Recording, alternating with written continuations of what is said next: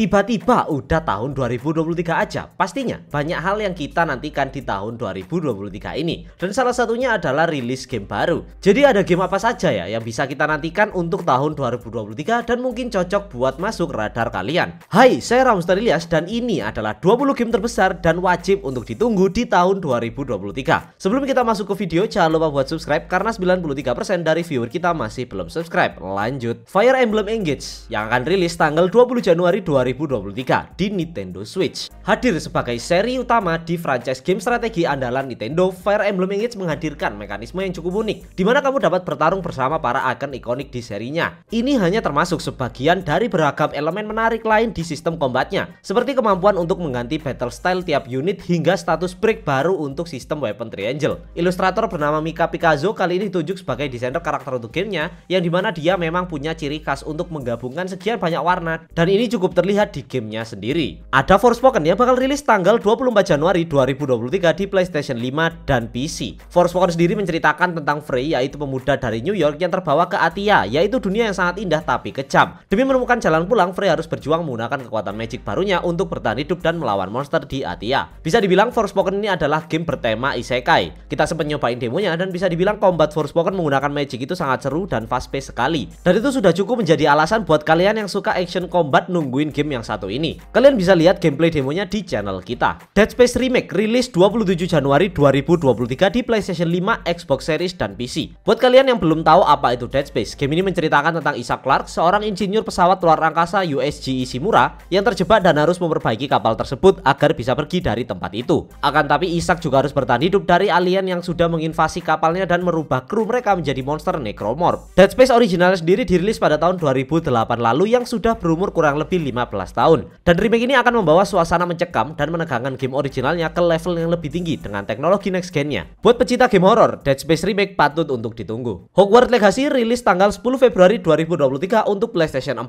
5, Xbox Series, Xbox One, Switch, dan PC. Hogwarts Legacy adalah game open world RPG yang bakal bersetting di universe dari buku novel Harry Potter. Di sini kalian akan ditempatkan sebagai murid di Hogwarts dan kalian bisa bereksplorasi dan menemukan banyak puzzle dan juga misteri di Hogwarts. Tidak hanya itu, kalian juga bisa kustomisasi karakter sesuai yang kalian inginkan. Kalian juga bisa menjalankan kehidupan layaknya murid Hogwarts, seperti belajar meracik ramuan potion, mencari makhluk sihir, berlatih menggunakan sihir, dan menjadi penyihir yang kalian inginkan. Tidak hanya itu, kalian juga pemegang kunci dari rahasia kuno yang bisa memecah belah dunia persihiran. Buat pencinta serial Harry Potter, pasti kalian udah nungguin game yang satu ini. Wild Hearts rilis tanggal 17 Februari 2023 di PlayStation 5, Xbox Series, dan PC. Wild Hearts adalah game dengan konsep berburu monster yang mungkin sudah tidak asing lagi bagi sebagian besar gamer. Namun Koei Tecmo cukup berhasil meracik lewat berbagai ciri khasnya seperti berbagai senjata unik, gameplay yang lebih agresif, grafis fantastis hingga latar belakang dunia fantasi Jepang di era kuno yang menggugah. Semua elemen tersebut membuatnya berasa original. Belum lagi mereka juga memberi player berbagai macam alat yang bisa dibangun untuk membantu player dalam berburu. Kalau kalian suka dengan game berburu monster, Wild Hearts menarik untuk ditunggu. Wolong Fallen Dynasty dirilis 3 Maret 2023 untuk PlayStation 4, PlayStation 5, Xbox One, Xbox Series, dan PC.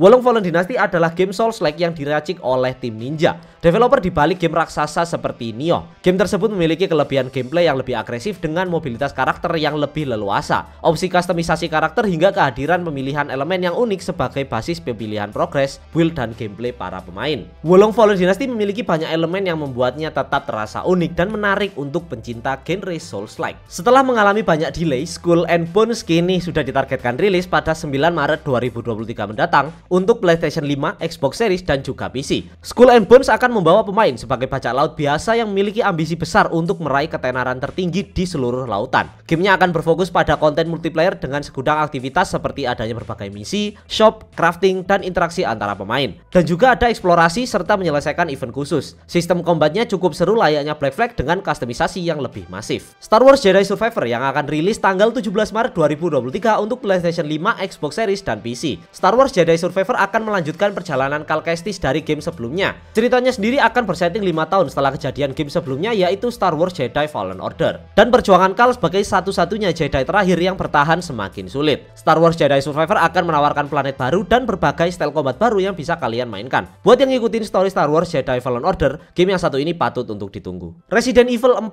Remake rilis 24 Maret 2023 untuk PlayStation 5, PlayStation 4, Xbox Series, dan PC. Game Resident Evil paling legendaris ini bakal mendapatkan remake-nya dengan teknologi grafis next gen, gameplay yang lebih modern, dan cerita yang digambarkan ulang. Setidaknya itu yang mereka sampaikan di halaman Steam mereka. Tapi sepertinya untuk cerita secara garis besarnya sendiri tidak akan berubah. Agen Leon S. Kennedy akan tetap ditugaskan untuk menyelamatkan anak presiden Ashley Graham. Buat pecinta serial Resident Evil, tentunya Resident Evil 4 Remake tidak bisa dilewatkan. Dead Island 2 yang bakal rilis 28 April 2023 di PlayStation 4, PlayStation 5, Xbox One, Xbox Series, dan PC. Penantian yang lama selesai juga. Dead Island 2 yang sudah dipamerkan trailernya sejak E3 tahun 2014 akhirnya mendapatkan tanggal rilis yang pasti. Ya walaupun sempat delay lagi akhir tahun ini dari tanggal 3 Februari jadi 28 April 2023, tapi setidaknya kita tahu kalau Dead Island 2 sudah dekat. Dead Island 2 sendiri akan memberikan kalian experience membunuh zombie dalam first person view dengan berbagai senjata dan tentunya dengan humor khas seri Dead Island. Gamenya sendiri akan bersetting di Los Angeles jadi kalian bakal bisa lihat suasana kota Los Angeles kalau ada wabah zombie bakal seperti apa.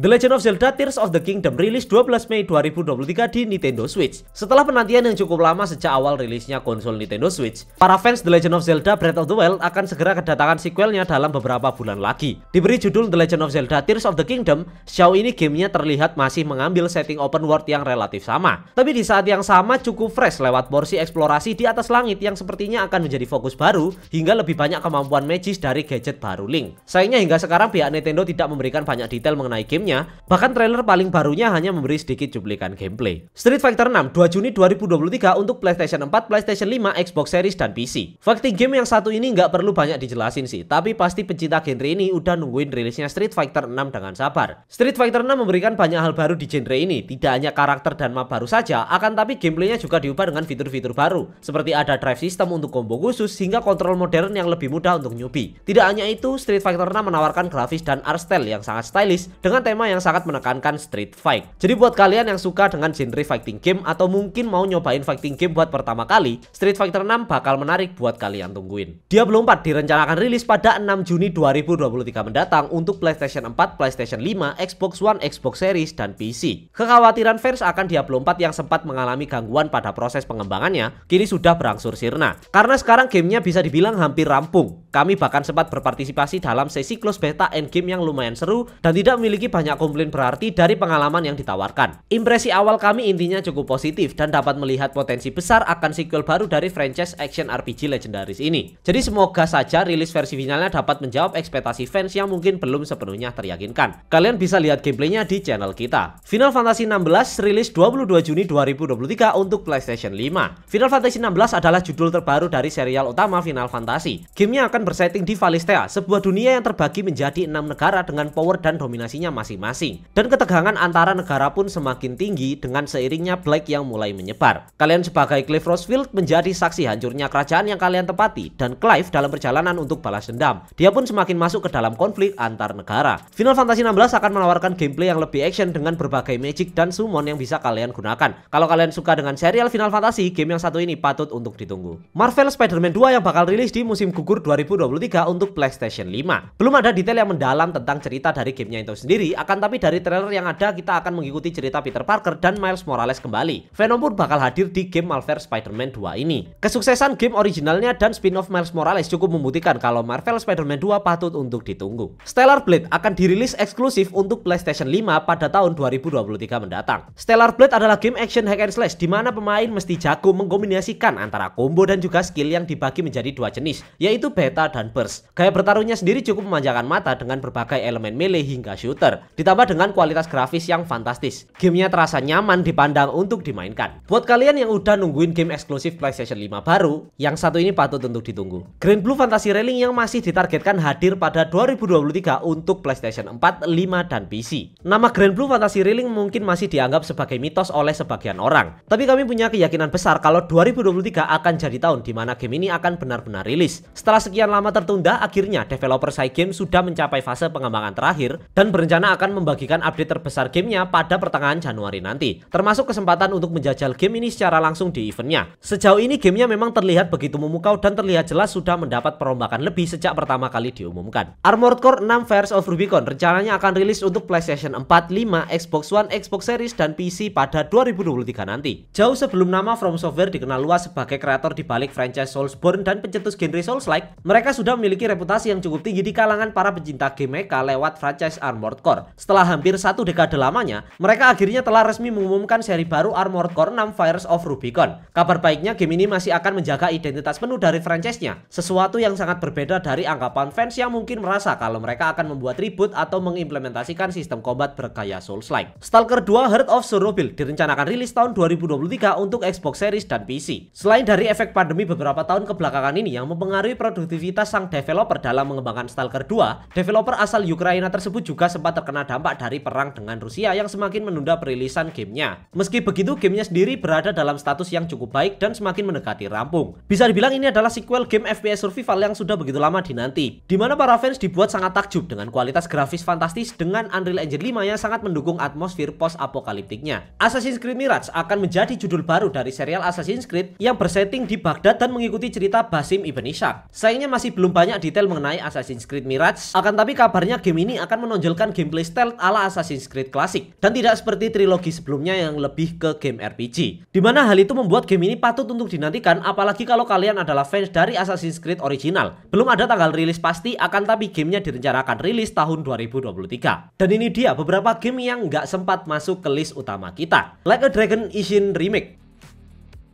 Final Fantasy 7 Rebirth Suicide Squad Kill the Justice League Sons of the Forest Atelier Riza 3 Lies of P. One Piece Odyssey. Black Myth Wukong.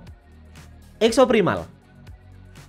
Pragmata itu dia 20 game terbesar dan wajib untuk ditunggu di 2023. Apakah ada game yang menarik perhatian kalian? Atau mungkin ada game yang belum masuk ke list ini dan kalian nungguin? Komen di bawah. Like dan share video ini ke teman kalian yang juga butuh rekomendasi buat tahun 2023. Jangan lupa buat subscribe dan nyalakan tombol notifikasi biar nggak ketinggalan video lainnya. Terima kasih udah nonton sampai akhir video dan sampai jumpa di video berikutnya. Bye-bye.